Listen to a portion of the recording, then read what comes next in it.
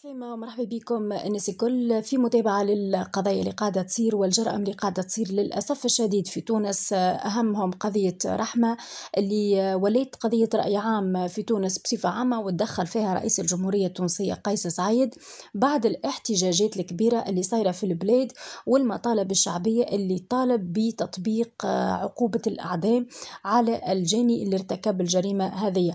donc قلت برشا الدعوات الشعبية هذه تفاعل معهم رئيس الجمهورية التونسية قيس سعيد واليوم في كلمة ليه أكد على ضرورة تطبيق القانون وقال من قتل نفسا بغير حق مصير الأعدام وجزاء الأعدام. وهكا يكون فما تناغم بين موقف رئيس الجمهورية قيس سعيد وموقف الشعب التونسي. ولا خلينا نقول أغلب ولا فئة كبيرة من الشعب التونسي باعتبار أنه فما جزء من الشعب التونسي آه، ما هوش موافق على تطبيق عقوبة الأعدام اللي هي ما هيش مفعلة في تونس.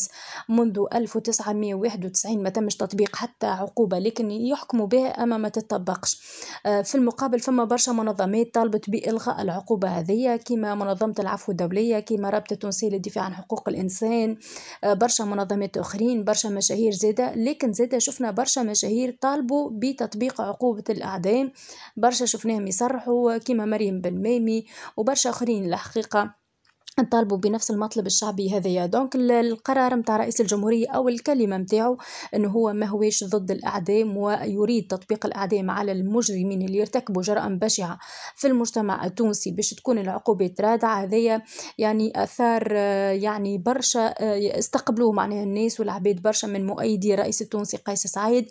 استقبلوه بكل رحابة صدر ورحبوا بالقرار متاعو وبالكلمة متاعو. فباش نشوفوا في الأيامات الجاية باش يتم تطبيق عقوبة الإعدام على الجاني في القضية هذه قضية رحمة الله يرحمها وإلا لا هذا الكل يقعد في متابعة في الأيامات الجاية.